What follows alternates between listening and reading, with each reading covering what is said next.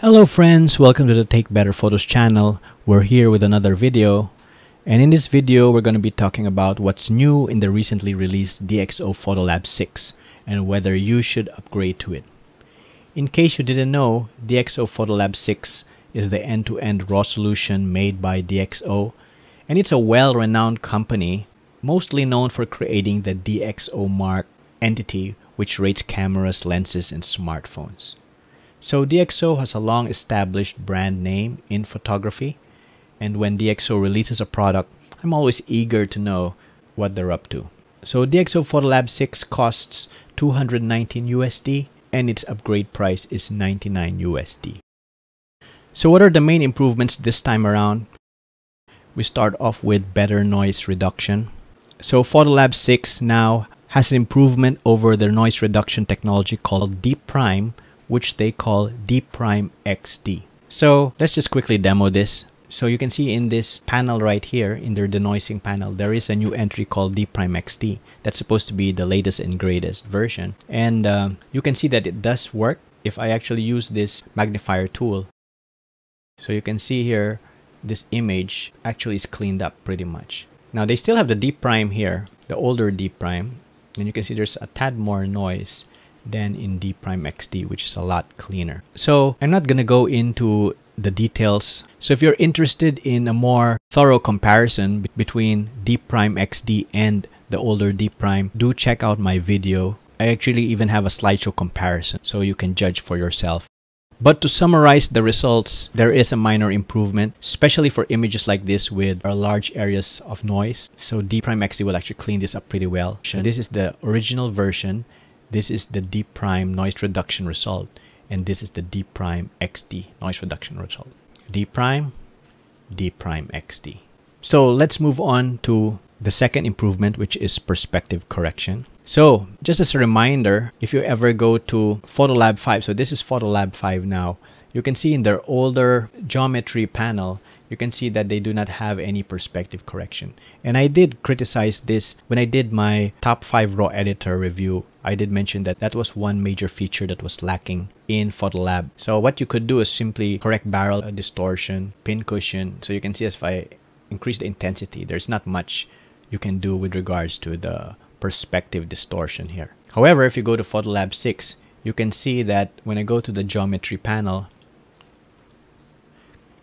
you can now have automatic perspective correction. So if I just turn that on, it will actually do the correction automatically. And of course, you can adjust that manually. So let's do that. So let's say I have an image like this, which needs a little bit of perspective correction. You can just simply do the vertical distortion correction with this slider right here. So I'm just going to adjust it a little bit. So that's a, a big improvement right there.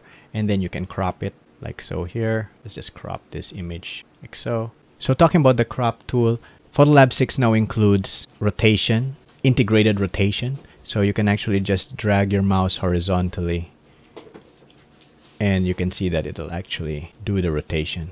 Okay, now it's not the smoothest thing in the world compared to Lightroom, which is uh, really real time, but um, it's decent.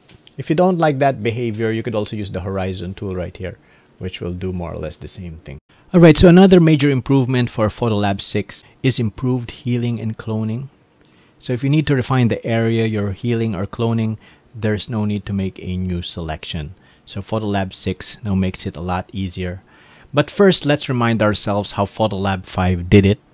So here we are in Photolab 5. So you notice that when you go into the tab here, you have what you call a repair tool.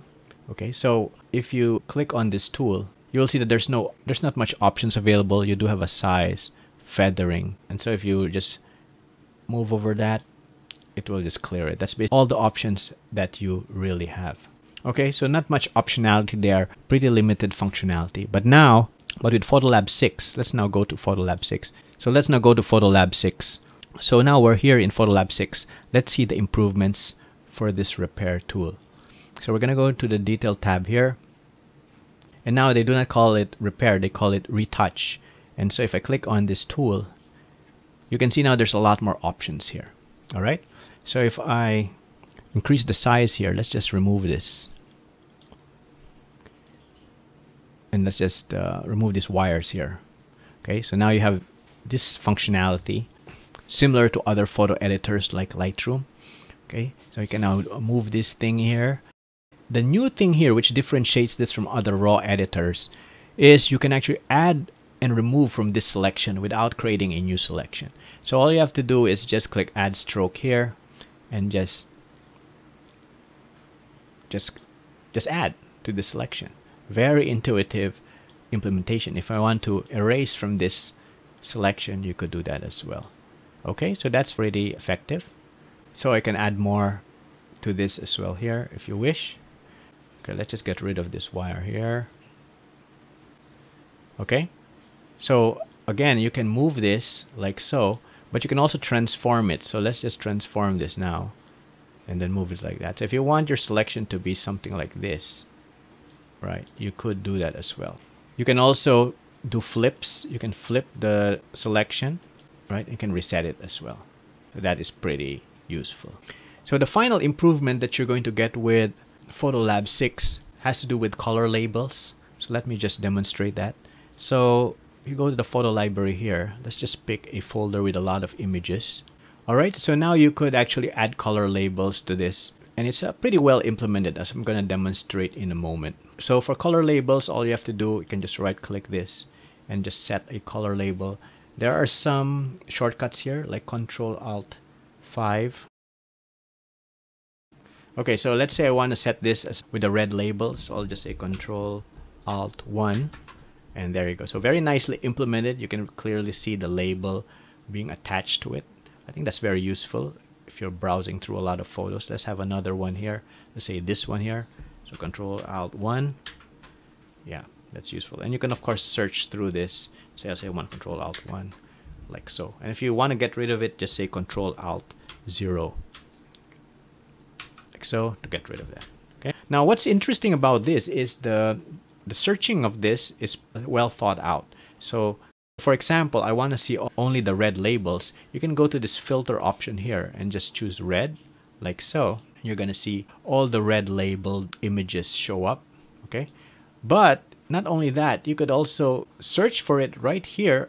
So you could also search for the labels in a search box. Okay. So if I go to search images and if I type here red, let's say red, you can see that one of the options is search for the red labels, not just search for the red file name. Click on that that's going to show up right there. Okay, so very well done implementation for those who need this type of functionality. So that brings us to the conclusion, do I recommend this upgrade? Well, for users of Photolab 5, and I am one of them, I actually don't think the features here are compelling enough for me to recommend an upgrade. Now, what are the reasons for this? Well, first, the headline Deep Prime XD is an improvement, but it is just a minor improvement. So if you looked at my detailed video comparison, I said that you don't see the benefits in all the images.